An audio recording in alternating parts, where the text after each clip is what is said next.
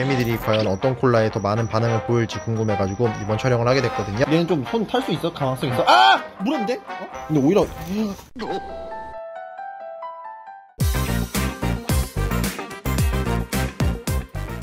반갑습니다. 더정한 남자입니다. 이번에 매장으로다가 홍가슴 개미를 선물해주신 분께 너무나도 깊게 감사를 드리고요. 개미 컨텐츠를 찍으면서 많은 분들이 개미를 알- 알리는 걸 좀 희망을 하셔가지고 많은 아이들을 저희한테 도움을 주시고 계세요. 계속 기증이 들어오고 있는데 이번에는 개미한테 뭐 음료수를 좀 줄까 하다가 궁금한 게 생겨가지고 영상을 촬영해봤거든요. 자, 영상 같은 경우에는 짜잔 여기는 코카콜라하고 펩시콜라가 있는데 이 개미가 어떤 콜라를 더 선호할지 영상을 촬영을 해볼 거거든요. 저도 이전부터 궁금하긴 했었는데요. 이 개미들이 과연 어떤 콜라에 더 많은 반응을 보일지 궁금해가지고 이번 촬영을 하게 됐거든요. 일단은 비교고는 두 가지로 둘 거고요. 개미들이 먹기 좀 더 편하게 또 물 부어줬다가 개미들이 탄산에 빠져 죽지 않도록요. 이 키친타올에다가 콜라를 부어줄 거고 이거는 먹이 그릇이에요. 여기를 통해 가지고 어디에 더 아이들이 많이 모이는지를 촬영을 할 거예요. 일단은 비교고는 이 구석에다가 동등하게 올려놓도록 하고요. 아, 일단은 콜라를 부어줘 볼게요. 그냥 정말 간단히 재미로 하는 실험 중 하나예요. 아마 당이 더 높은 거에 꼬이지가 않을까 싶거든요. 개미들은 실제로다가 더 높은 당을 선호를 하니까 조금 더 당분이 높은 제품을 선호하지 않을까 싶어요. 특별히 어떤 제품을 비하하는 게 아니에요. 저는 콜- 코카콜라도 좋아하고 펩시콜라도 좋아해요. 두 개 같이 말아먹는 걸 제일 좋아합니다.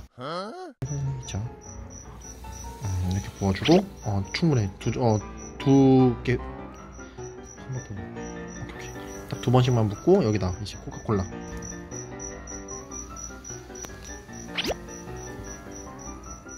아 이렇게 두 개의 비교군이 완성이 됐습니다 여기 꼬다리를 만든 게 펩시고요 꼬다리가 없는 게 코카콜라예요 이거를 넣어줘가지고 우리 홍가슴 개미들이 어디에 더 끌리는지를 한번 촬영을 해보도록 할게요 정말 재미로 찍은 거예요 특정 제품을 비하하거나 그런 의도는 없습니다 어우 애들이 벌써부터 막, 아, 밥 줄 때마다 하나씩 깔려주면 어떡해.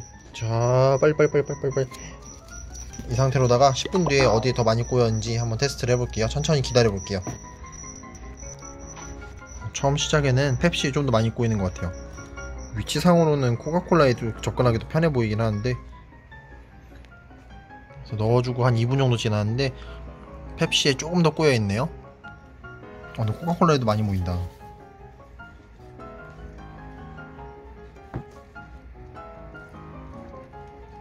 와 펩시 엄청 꼬였어 지금 이렇게만 보면 펩시 별로 안 꼬인 것 같은데 뒤까지 보면은 펩시 훨씬 많이 꼬였어요 아 얘네도 선물 받은 건 좋긴 한데 세팅을 또 새로 또 다시 해줘야겠네 오 펩시 엄청나게 꼬이고 있어요 펩시가 당이 더 높나? 네, 이게 좀 더. 음. 둘 다 비등비등하긴 한데 확실히 펩시 쪽에 좀 더 애들이 많이 붙어있네 몇 마리 배가 터질란다 엄청 많이 먹었다 맛있어요.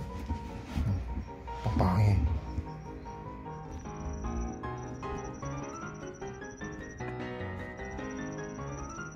(10분이) 또좀 넘게 경과했는데 뭐 비슷비슷한 것 같아요. 근데 실제로 당이 좀 더 높은 펩시 애들이 좀 더 선호도가 있고요. 코카콜라에는 살짝 적어요. 왼쪽이 펩시 오른쪽이 코카콜라예요. 차이가 있죠? 애들이 열심히 물고 가가지고 입에 있는 것들을 다른 애들한테 나눠주고 있어요. 자, 그러면은 얘네는 펩시를 더 좋아하는 것 같으니까 다른 개미들한테도 한번 실험을 해볼게요 일단은 곰개미는 펩시에 좀더 끌렸었고 펩시 다 먹고 나니까 코카콜라로 좀 가긴 했었는데 펩시 쪽이 조금 더 끌렸어요. 이번에는 우리 주름개미들. 보이지도 않죠? 얼마나 많은지 보여드릴까요? 얘네도 선물 받았거든요? 개미 엄청 많이 받았어요. 와... 이 안에 지금 여왕개미들도 바글바글한데요. 복수체더라고요. 여기다가도 한번 부어볼게요. 첫 번째로다가는 콜라. 왼쪽이 콜라 오른쪽이 펩시입니다. 이걸 한 번씩 넣어볼게요 얘네들도 그런 계열이구나. 밥 줄 때마다 하나씩 죽는 계열. 콜라 펩시. 어느 쪽을 더 먹을지 천천히 기다려 보겠습니다.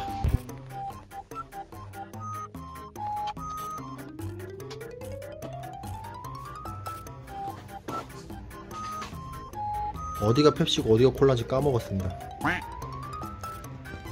여기가 펩시고 여기가 콜라. 오. 여기는 편집자님이 잘 찾아주세요. 아, 이 문제라고 하면은 얘네들은 진짜 정말 주동만 해가지고 서로 어디가 어딘지 구별도 못하겠는데 문제가 몇 마리인지 모르겠어요. 흙을 갖고 와서 파먹고 있는데 망울놈들이? 어째서 뭐하는 짓- 짓들이지? 음식 저장고로 선점했나? 아, 약간 소똥구리가 똥 파묻듯이. 음, 이쪽은 펩, 확실한 게 이쪽이 훨씬 많이 끌리고 이쪽은 좀 덜 끌리긴 했네. 숫자를 보시면요. 이쪽에 애들이 훨씬 많아요. 어, 그러네. 확연하게 차이가 나네. 네, 여기는 어마어마하게 붙었는데 반대쪽에는 좀 덜 붙었네요. 아, 애들 너무 짜게 먹으면 이 썩으니까 우리 밥도 좀 줘야지.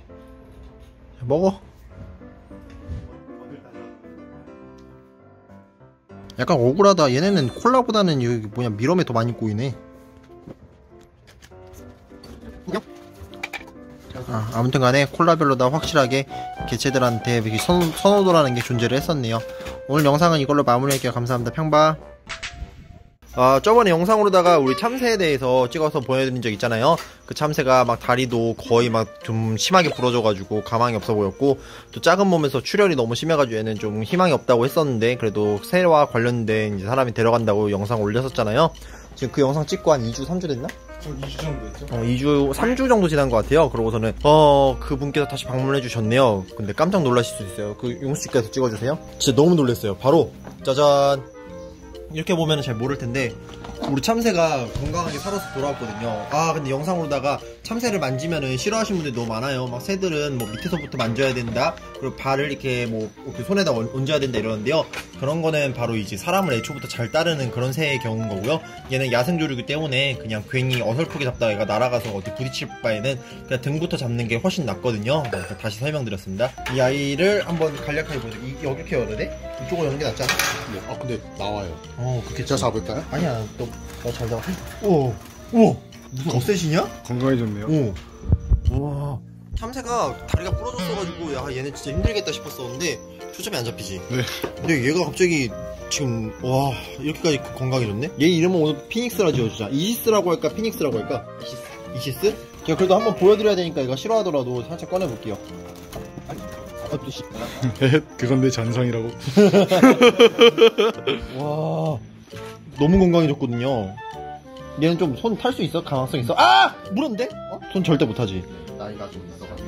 아 지금 너무 건강해졌는데 여기 발 보세요 여기는 건강하죠 근데 이 친구가 조금 안타까운 점이라고 하면은 아 야 문다 꽤 아픈데 이거? 이거 봐봐 좁다. 이쪽 다리 이쪽 다리가 지금 결국 절단이 됐어요 아 상처는 확실하게 깨끗하게 아물긴 했었는데 이 다리 골절이 너무 심해가지고 아니 약간 좀 달랑거리는 상황이었었나봐요.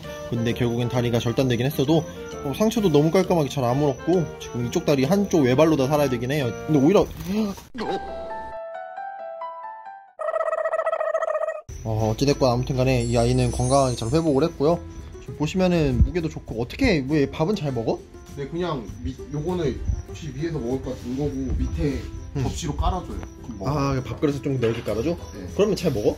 네 먹어요. 근데 보니까 얘를 처음에는 그 세장이 아니라 포맥스에서 키우셨더라고요. 그래가지고 온도 관리를 한 다음에 이제 이 사육장을 옮겨준 것 같은데요. 참새도 가정 내에서 키울 수 있는 새야? 새끼 가져오는 되긴 돼요. 아, 그 원래 새. 새장에서 키우는 경우도 많고. 어, 나름대로 귀엽다.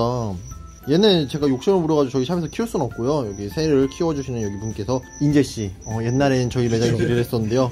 예, 현재는 새 전문가거든요. 이 친구가 이제 계속 사육을 하게 될 것 같아요. 야생으로다가 풀어주는 것도 좋긴 하겠는데 사실 이제 한쪽 발이 없는 이런 새들은 야생에서 방생이 됐을 경우에 가장 먼저 노려지는 1순위거든요. 야생 적응 못하지? 할 수는 있어요. 한 발인데도? 네 지금 잘 다니니까요. 어. 거예요. 아 그래? 방생할 거야? 키울 거야? 어. 키워야 될것 같아요. 따뜻한 남자네. 음, 어, 내가 건강하다. 똥구도 되게 깔끔해. 새들을 볼 때 가장 먼저 주의할 점 중 하나가 항문을 보는 거거든요. 이게 막 배변이 뭐 한창 묻어있고 하면 대부분 아픈 애들 맞지? 네 맞아요. 어, 유메렉이 안 나와요. 그러니까. 근데 얘 같은 경우에는 지금 컨디션도 너무 좋아 보이고요. 아, 야, 씨. 그래도 너가 사비 들여가지고 이렇게까지 치료도 해주고. 음, 고생이 많았다. 사실 참새가 옛날부터 키우고 싶었었나봐요. 앵무새만 키우다가 참새가 키우고 싶었는지 좀 많은 투자를 해가지고 결국엔 살려냈는데요. 이렇게까지 건강하게 회복을 한 걸 보니까 보기 좋네요. 얘가 성질머리는 좀 되바라지긴 했어도. 그 못생긴 사람만 문제예요. 어, 아 그래? 아! 물었는데? 어? 얘가 너무 오랫동안 만지면은 지금 많이 스트레스를 받을 것 같기 때문에 얘는 결국 야생조류거든요. 그래서 다시 넣어줄게요. 아무튼 대부분 생물들이 저희 매장에 왔다가 이 친구들을 보호소든 아니면 개인이든 어디론가 가가지고 그 이후에 근황을 알기가 너무 힘들거든요. 연락되는 경우도 별로 없고. 근데 이번 참새 같은 경우에는 여기 저희 매장에서 옛날에 일했던 친구가 데려간 만큼 앞으로다가 근황을 종종 올릴 수 있을 것 같아요. 참새가 사실 저희 주변에서 제일 흔한 새긴 한데 그렇다고 저희가 또 막상 마주하긴 또 어려운 새거든요. 경계심이 워낙 많고 애들이 좀 재빠르다 보니까 사람들이 근처에서 보기 힘든 조류 중 하나인데 이렇게 가까이서 보니까 또 신박하네요. 아무튼 간만에 참새 근황 보- 보고 왔습니다. 자, 참새 걱정하신 분들께서는 한시름 놓으셔도 될 것 같아요. 영상은 마무리하겠습니다. 감사합니다. 평바.